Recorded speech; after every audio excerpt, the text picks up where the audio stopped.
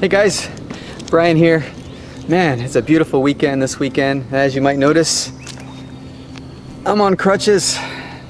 I'm supposed to be actually running a half marathon today with Melissa, but uh, instead I'm out of commission because uh, earlier this week I was out running, preparing, training, and uh, rolled my ankle and fractured a bone in my foot. So I am out of commission for a couple of months in terms of running. But it's not going to stop me from working on my RV. Lots to do.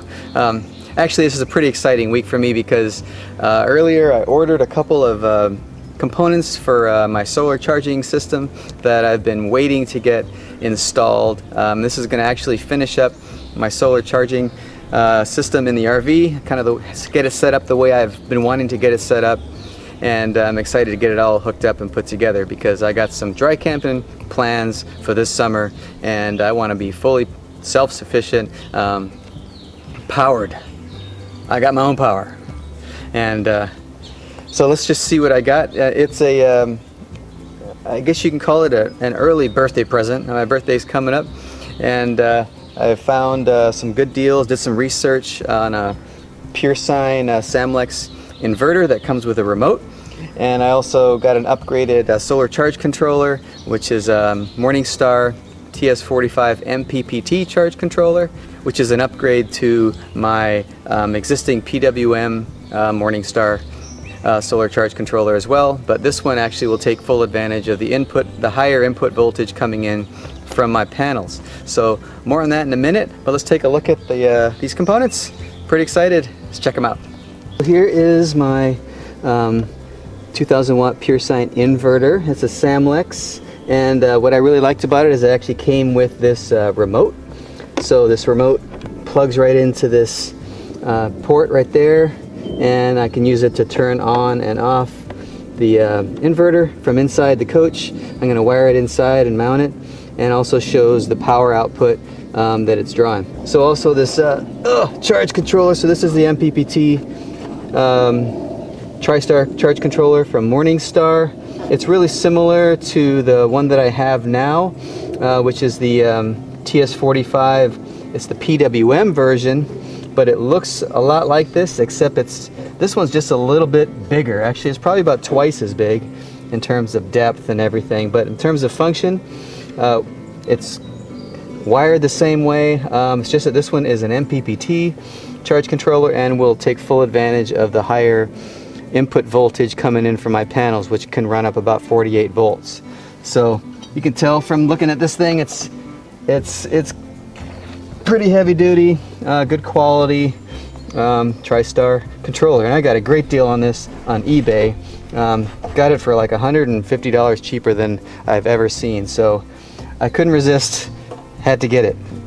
Uh, I'm gonna wire up, I wired up this, this uh, power cord that I'm going to hook up to my uh, inverter and uh, to power my coach and this is going to run and connect to this 30 amp um, receptacle that I will just plug in my um, my existing 30 amp uh, power cord in the RV to. So when I'm not hooked up to shore power, I'm simply going to connect it here, which is going to be connected to my inverter.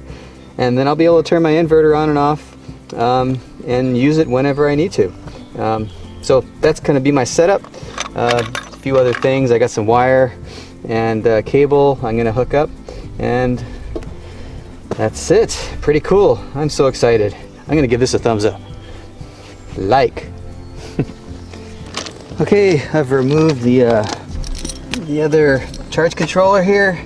So this is the uh, one I had installed, the uh, PWM charge controller, and I'm gonna go ahead and replace that with this new MPPT one. So pretty much the same unit except for one's MPPT and one's not.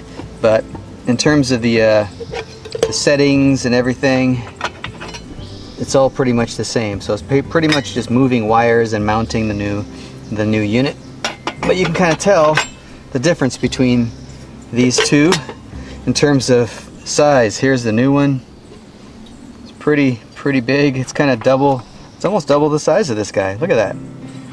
In terms of thickness, look at that. Pretty hefty guy. So I'm gonna go ahead and install this guy and um, excited to fire it up. Okay, I've got the new controller in there now. Um, it's working pretty good. Uh, right now there's no sun, so I'm to have to check it again tomorrow, but uh, it was a little bit of a tight squeeze uh, to get this thing swapped out. But it's working. Okay, I got this all hooked up. Man, I'm so excited. Here's my uh, inverter all installed in this storage bay here. Um, got two connections to it. I have the uh, remote, which goes inside. Duh. And uh, the single receptacle here, I wired a plug that runs to the uh, battery bank, which is also where my, my power cord is. And I'll show you how that works in a minute. Um, but I'm really happy. I fired it up and it actually works really well first time and um, just checking out all the AC appliances inside and see how it goes but here let me show you how it all works.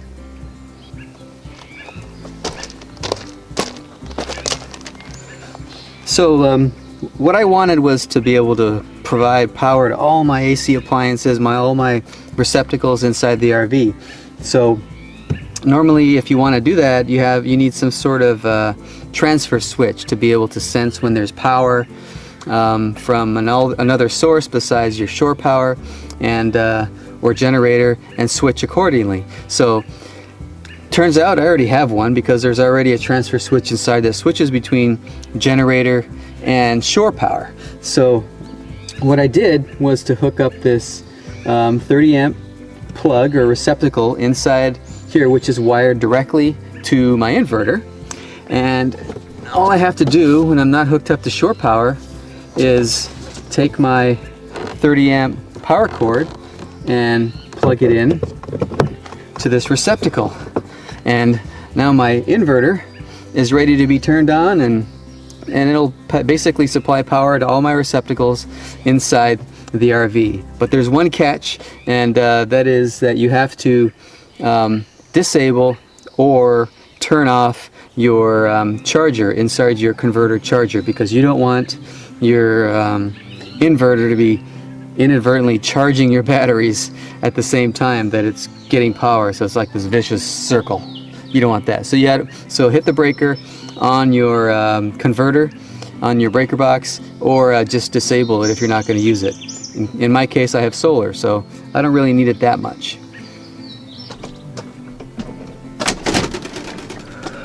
Okay, now when I want to switch to inverter power, I make sure things are off and make sure I'm not plugged into shore power. Make sure my power cord's connected to that receptacle. And um, this remote that I've put right inside the door here, uh, I can simply just push the button and uh, fire it up. On it goes. Pretty handy having it right here. Um, pretty close to the inverter and it was uh, pretty easy to install. Um, yeah, yeah, it came with it. Pretty cool and handy.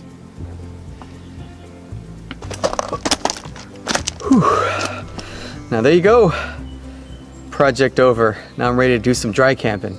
Now I hope you uh, got some ideas from this if you're thinking of doing the same thing on your RV. You know, of course your RV might be different than mine. Probably is. So, uh, you know, put some thought into it, do a little research, and come up with the best setup for you. And as always, if you're not comfortable doing this stuff, uh, consult a professional.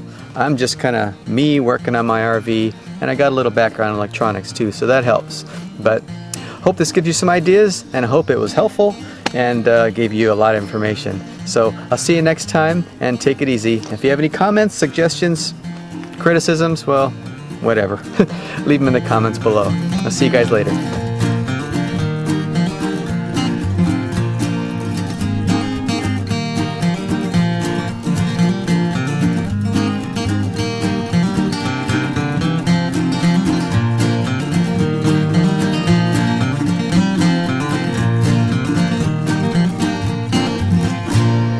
Guys, there's a couple of young deer in the bushes right over here. Let's see if we can get a look at them. A couple of young fawns. It's that time of year. Right over there.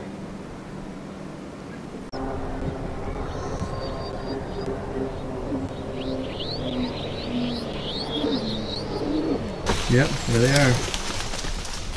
Told you. So you might be wondering if it's possible to run your microwave well on an inverter and charging with solar. So I've got my inverter on and I haven't actually done it yet, but I'm gonna go ahead and make some microwave popcorn. Used my coffee pot this morning, that worked pretty good.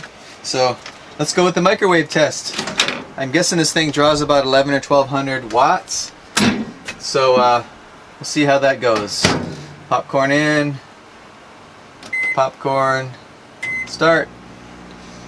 I'm watching my uh, amp meter here and it's up to, woo,